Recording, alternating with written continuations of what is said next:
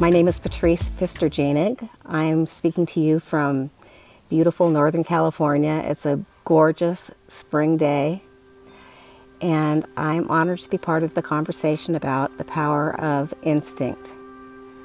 The power of your instinct, the power of my instinct.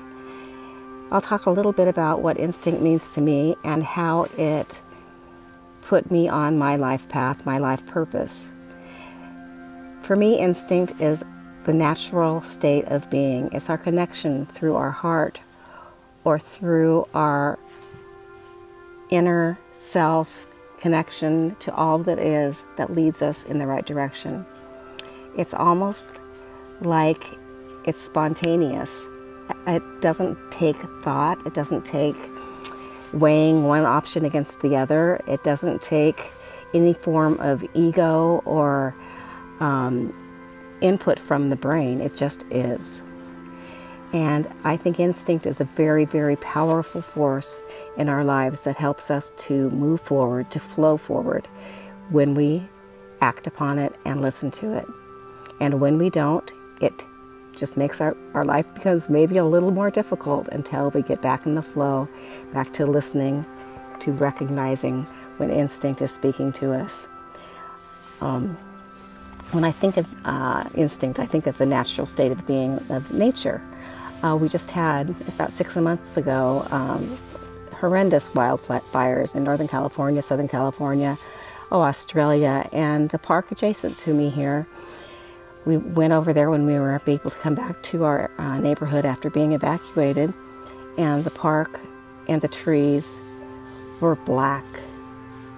The air was filled with smoke, and it felt like it would never ever come back and be better than it was before. And actually, now, only six months later, I was up in the park noticing the grass was green, the flowers were blooming, some of the trees that looked like they were totally dead were sprouting new growth. And nature is pure instinct. The trees didn't think about how they were going to come back. The flowers didn't say, What color am I going to be today? Would I like to come back as something else? They just come back by the pure power of nature.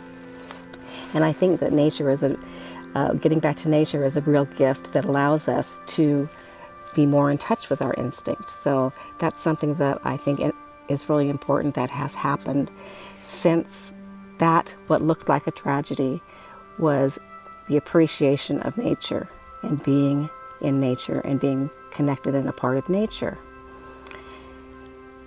The current situation with the um, pandemic going around worldwide, which seemed uh, seems to me to bring us so many blessings. We have grown up in a society that has become increasingly disconnected with technology and computers and um, you know, just technology basically and the way of life and um, striving to succeed and make money and having a warlike nature, one person against the other. If you get it, I can't have it. And all those attitudes that we have had, to me, this is a turning point where um, all of that can change. I think that being socially isolated and socially disconnected, physically disconnected, has brought forth in us the craving to be more connected, to appreciate the connections we have, to look inside and reevaluate what our real purpose is, what are our real values, what's important to us, what's important to the planet. Another blessing of this is that the earth is being cleansed. The earth is coming back into balance, not being um, affected so much by what its humans have done to it. So, what that has to do with instinct is that it's just that I think that when things are not flowing as they should, that that gives something will happen that gives us the opportunity to look deeper inside and look at our instinct and look at our um, where we're going with our life path, with the world's path, and I'm really grateful for what's happening right now. There's so much more time to contemplate, to appreciate, and to recognize our true purpose, and especially as um, Reconnective Healing practitioners, that we have been given been given a huge gift of carrying this incredible light and information that is transferred from person to person. We have a huge responsibility right now to live in our instinct and our power and our light and share that with as many people as we can. This is not something to be kept to ourselves, it's something to be shared. So, with that said, because that's what's really on my mind today, um, but I do want to tell you how the power of, of instinct brought me to the point in my life, which is Reconnective Healing. Uh, which, when I say that, I mean my life is Reconnective healing. Um, so going back to like uh, I have I have a story, and um, I'll just briefly run it by. Uh, I'll do it as briefly as I can. Um, when I was a teenager, I was diagnosed with a severe scoliosis. The doctor wanted to put me in a contraption called a Milwaukee brace, and it was just that holds your neck up and it's a metal thing. I didn't accept that I was going to be in that brace, and I did everything I could to keep out of it, and actually um, worked really hard to maintain my uh, curve in my spine. It was a 29 degree S curve and a rotation, which is pretty significant. But I managed to stay out of that, and that that physical uh, limitation, I was able to work through that and function through college, and then I ended up on state disability.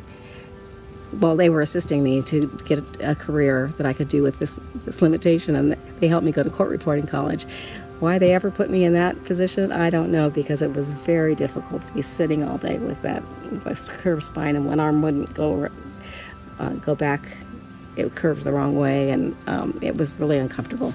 And uh, and on, on that path, um, I was not listening to my instinct. I was being influenced by uh, what other people said I should be doing. For example, you need to go to college. I had always just wanted to be an artist and or a teacher. I didn't need to go to college, but I did because that's what I was supposed to do. I wanted to be an art major, but no, I went into business administration because that's where the money was, that's where you're going to get a good job. As life unfolded, and I'm sure my instinct had a little bit to do with this, but I uh, decided that I was going to change colleges, and in that process, uh, in the summer in between, I went up to Alaska on an adventure with a girlfriend, and um, my transcripts that were supposed to be being shipped to another uh, college that I was transferring to got lost in the mail somehow. So I had the opportunity to do something different, and I did become the, a court reporter. I went to college for that, and uh, that was more of a natural for me. I was really good at it, um, and I liked it until it was I was put into the real world with it, and the stresses, and the pressure, and working and working and working and everyone's saying what a great job it is and how much money you're making and I, I did that for many years. In the 90s it was getting to be that I was in, in constant pain. Uh, other things were going in my, on in my life that I was um, not in the greatest of spaces. I was depressed. I was in pain. I was taking sleeping pills to sleep and antidepressants and pain pills and other just trying to get through life day by day. And it got to the point where if this was what all that was left, this is what life was, I was just like, I don't even want to be here anymore. Um, there was no luster, there was no spark, there was no, you know, no excitement for life. Uh, and I had to make a decision that I was going to, to find a way to make myself better. And so I guess it was my instinct that led me to a, a talk given at a bookstore by this doctor that was teaching healing. And no, it wasn't Dr. Eric Pearl, it was someone else.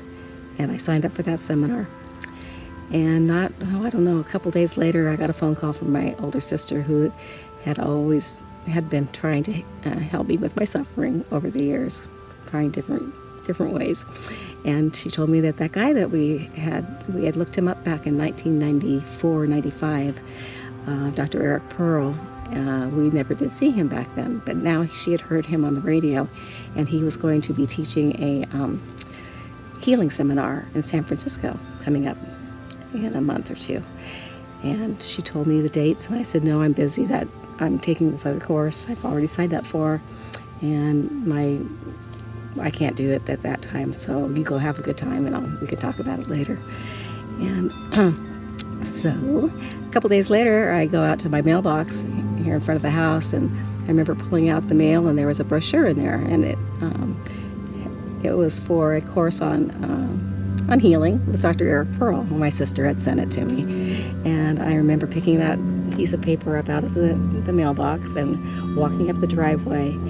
And I had no intention whatsoever to go to this um, healing seminar with Dr. Pearl. And the next thing you know, apparently my instinct had kicked in big time. And uh, I accessed a larger part of myself, a bigger part of myself that knew what I was supposed to be doing and knew what was right for me. And I don't think that my instinct was going to let my conscious mind get in the way.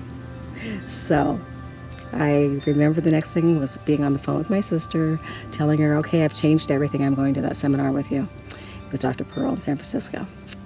So we did.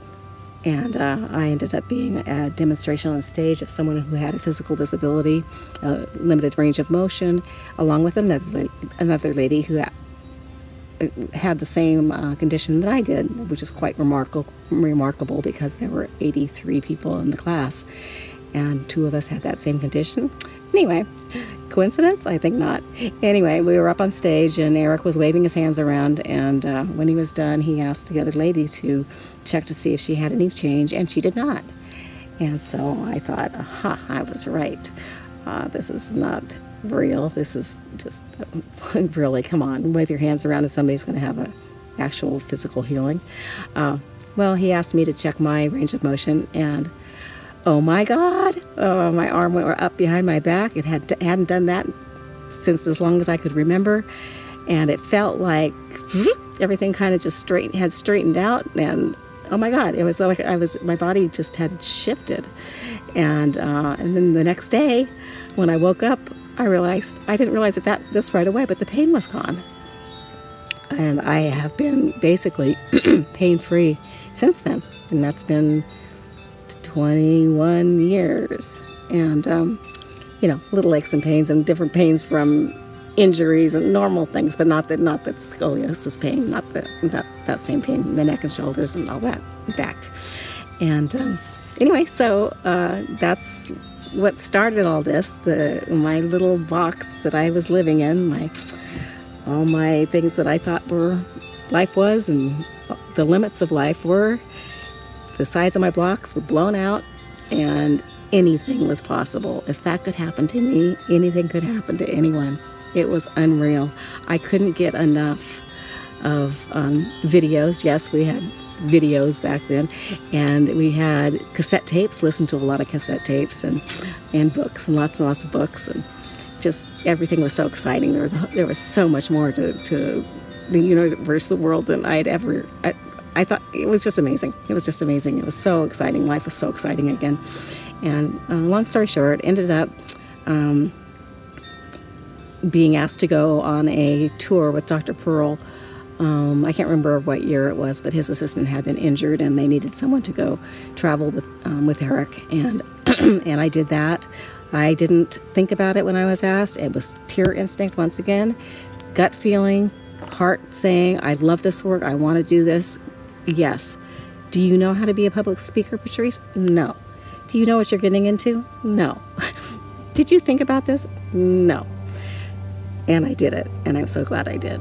So that led to you know traveling the world for many years with Dr. Pearl and the world, worldwide teaching team and so many adventures and travels and meeting so many fabulous people and sharing this light with the world. And um, had it not been for my instinct taking over and knocking my little pea brain out of the way, I wouldn't be here today, being able to be in this position to um, be the light, be the, the powerful instinct of light and information and the expanded self that I am today.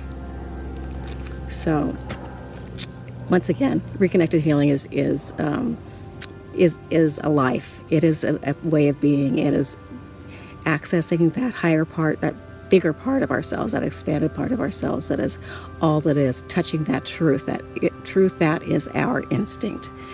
And I hope that this has um, been an interesting conversation for you. And all of you, I'd love you to be safe and be well, and we'll get through what we're going through, and it'll just be bigger and better on the other side.